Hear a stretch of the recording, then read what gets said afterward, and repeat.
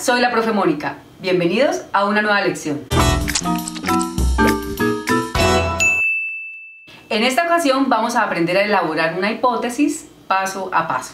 Pero antes vamos a definir hipótesis. La hipótesis es una suposición o teoría figurativa que se realiza antes de comenzar a desarrollar una investigación científica y que sirve como base de la misma.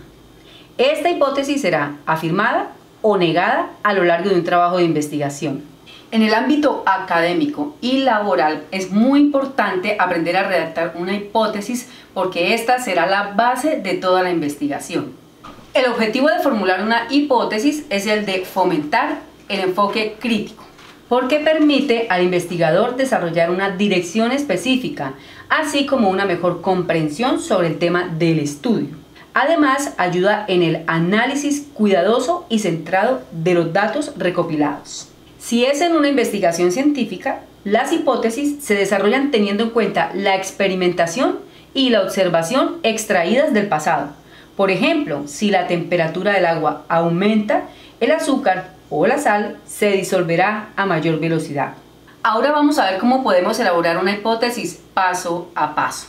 El primer paso para elaborar una hipótesis es el de elaborar una pregunta.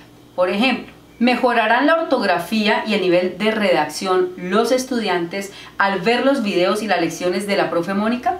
El siguiente paso es hacer una investigación preliminar. ¿Qué podemos investigar a partir de la pregunta formulada anteriormente? Por ejemplo, podríamos indagar acerca de las estadísticas de las visitas del canal de la profe Mónica. O por ejemplo, cuántas personas y en qué rangos de edad están visitando el canal o están viendo los videos, es decir, aprendiendo lecciones de ortografía y redacción. El siguiente paso es formular la hipótesis. Recuerden que la hipótesis es una suposición. La hipótesis podría ser, los estudiantes mejorarán la ortografía y el nivel de redacción viendo y aprendiendo las lecciones que hay en el canal de la profe Mónica. Si nos fijamos en esta hipótesis, estoy afirmando algo. ¿Por qué? Porque ya hice una pregunta anteriormente que me podría llevar a esta respuesta. Bueno, hasta aquí una pequeña lección sobre cómo se redacta una hipótesis. Si aprendió algo nuevo hoy, suscríbase al canal de la profe Mónica y no se pierda ninguna de nuestras lecciones.